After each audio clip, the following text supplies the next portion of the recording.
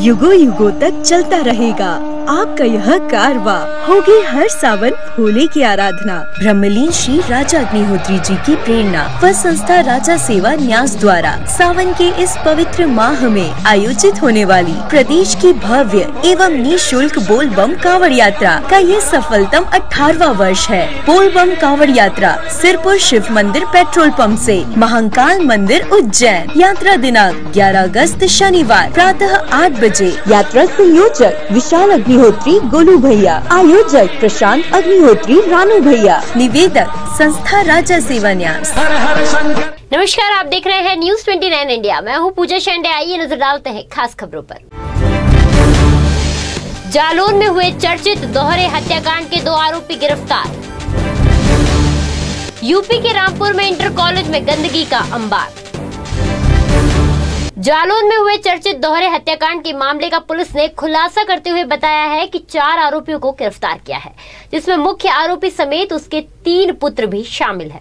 इन आरोपियों ने पुरानी रंजिश के तहत घटना को अंजाम दिया था, जिसमें जालौन के आटा थाना क्षेत्र के ग्राम संधि में तीन दिन पूर्व अज्ञात हमलावरों ने पाँच लोगों की गोली मारकर हत्या कर दी थी, जिसमें एक महिला समेत दो लोगों की मौत हो गई थी, जबकि घटना में तीन लोग गंभीर रूप से घायल हुए थे। उक्त मामले में पुलिस अधीक्षक अमरेंद्र प्रसाद सिंह ने बताया कि मुख्य आरोपी अल्लाह खां व उसके तीन पुत्रों ने घटना को अंजाम दिया था, जिसके पास से घटना में प्रयुक्त तमंचे व कारतूस के खाली खोखे भी बरामद किए हैं।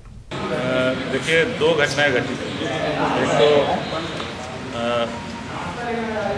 उनतीस बटा तीस की रात्रि में एक मकसूद नाम का व्यक्ति है, उसके ऊपर अटैक हुआ था, जिसमें कि पाँच लोगों को नामजद किया गया था। और उसके बाद दो दिन बाद एक और घटना घटी, इकतीस और एक की रात्रि में डेढ़ बजे, जिसमें कि दो लोगों की घटनास्थल पे ही फायरिंग से मौत हो गई थी और उसमें जो है तीन लोग गंभीर रूप से घायल हो गए थे।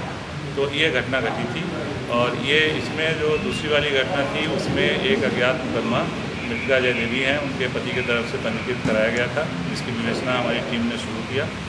पहली वाली जो घटना घटी थी और दूसरी वाली घटना वो ए, एक ही टीम है एक ही ग्रुप है अपराधियों का जिनके द्वारा किया था जिसमें अल्लाह रखा उसके तीन लड़के शामिल हैं। परंतु चूँकि पहली घटना में नामजदगी कर दी गई थी तो इन्वेस्टिगेशन में थोड़ा सा माइंड डाइवर्ट हुआ हम लोगों का।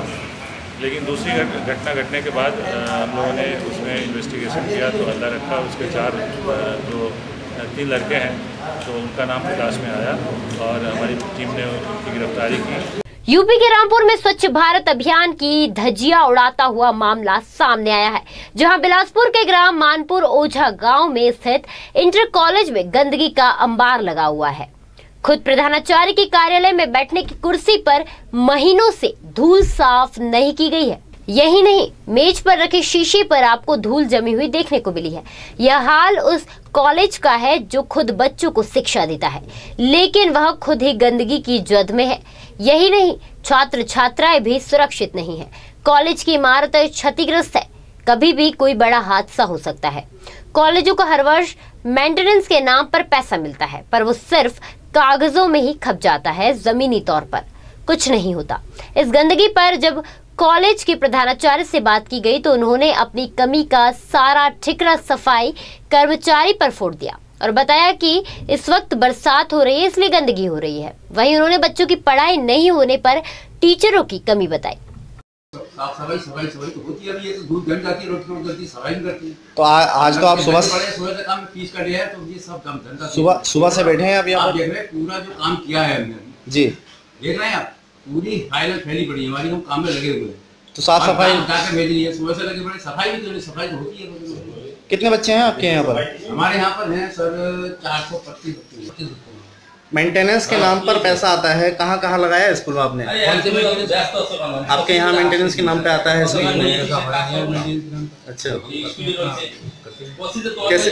कमेटी वगैरह बनी थी सुना टीचर की बड़ी कमी है पर हाँ कमी है। छः सात टीचर हमारे यहाँ पर हैं। अच्छा तो बच्चों की क्लासेस कैसे अटेंड कराते हैं? कराते हैं टाइम टेबल देख लीजिए अच्छा। यहाँ पर जो सफ़ाई कर्मचारी तैनात है वो अपनी समय से ड्यूटी नहीं करते। और वो ठीक समय से वो आते भी नहीं है और डेली आते नहीं है जिसकी वजह से ये आपको गंदगी जो दिखाई दे रही है इसकी वजह से है कि वो आते नहीं है।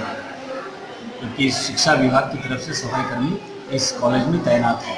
ये सैलरी कम से कम साठ हज़ार के आसपास होगी इनकी सैलरी काम कि, काम कितना करता है? काम छह हज़ार का नहीं करते? हमने इसीलिए तो कोशिश करा था प्रधान जी की तरफ़ से कि पीटीए की गठन हो जाए लेकिन दुर्भाग्य हमारा है कि हमारा अभिभावक भी नहीं समझता इस चीज़ को। कि बच्चों को पढ़ाए तो कैसे पढ़ाए? कोई तीस चालीस रुपया कोई बड़ी बात नहीं है। एक एक बच्चा दे दे चार सौ बच्चा है। हम चार टीचर रख सकते हैं इनकी सहायता कर सकते हैं। लेकिन ये तैयारी नहीं तो हम कैसे करें? क्या सेवा करें? हम प्रधान है। अगर मान लीजिए हमारा प्रधान जी है भी तो क्या ज़िम्मेदारी लेंगे? प्रधान जी किसी के सिर में डंडा तो नहीं मारेंगे ना? ठीक। प्रधान जी तो वही काम कर सकते हैं कह सकते हैं सुन सकते हैं समझा सकते हैं। और हम समझाते हैं। समझाते समझाते ये हाल हो गया कि अब स्कूल में आने का मन नहीं करता। दो साल से स्कूल में नहीं आ रहा हूँ ये हमारे प्रिंसिपल साहब सामने खड़े हैं। इनसे पूछ लीजिए। मैं कभी इधर दर्शन भी नहीं देता हूँ। देता हूँ गुरु जी नहीं देता हूँ। क्यों? मन भर गया।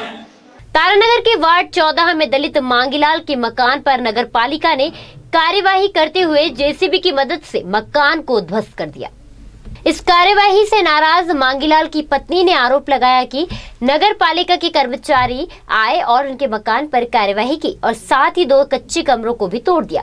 जब मैना देवी ने हाथ जोड़कर कर्मचारियों से कमरे में रखे सामान निकालने को कहा तो कर्मचारियों के साथ आई महिला कर्मचारियों ने बुज़ुर्ग मैना देवी से मारपीट शुरू कर दी। मैना देवी अपनी जान छुड़ाकर वहाँ से निकली। मैना देवी का कहना है कि इस घर के अलावा रहने के लिए हमारे पास और कोई जगह भी नहीं है। बुज़ुर्ग के पुत्र मोहन मीणा ने भी माले। पालिका ईओ दलीप पुनिया पर आरोप लगाते हुए कहा कि पुनिया ने भेदभाव कर हमारे घर को तहस नहस किया है। मॉडर्न विद्यालय के संचालक पोकरमल पुनिया ने पालिका की करोड़ों रुपयों की भूमि पर अवैध कब्जा कर रखा और बार बार शिकायत भी हो चुकी है। लेकिन उसका कब्जा उखाड़ने की पालिका के कर्मचारी की हिम्मत नहीं हुई। अब तोड़ फोड़ कर गया मेरा मत माने बैठी कोई को नहीं हो रहा। कर्मचारी आखिर मेरे तोड़ फोड़ कर गया बकरिया बच्चा मर जाता नहीं? मैं मैंने मार पीट करी है कर्मचारियाँ काल काल की थाना में भी गया अपना कोई सुनाई को नहीं करी मारी। मेरे घर पे कल नगर पालिका के कर्मचारी आए दल बल के साथ और बिना मौके दिए ही हमारे घर पे तोड़ फोड़ कर दी। और जो अतिक्रमण कर रखा था नगर में पाँच सौ बीघा भूमि पर, उन पर कोई कार्रवाई नहीं होती। जो पॉलिटिक्स वाले हैं, उनकी कोई अतिक्रमण हटाता नहीं। और पंचायत समिति के पास पोखराम पूनिया ने जो अतिक्रमण कर रखा है, उसकी शिकायत होने के बाद भी वो नहीं हटाया जा रहा है। तो पूनिया पूनिया होने के बाद जातिवाद कर रहे हैं। मैं दलित परिवार से हूँ, मेरी कोई सुनाई नहीं हो रही है।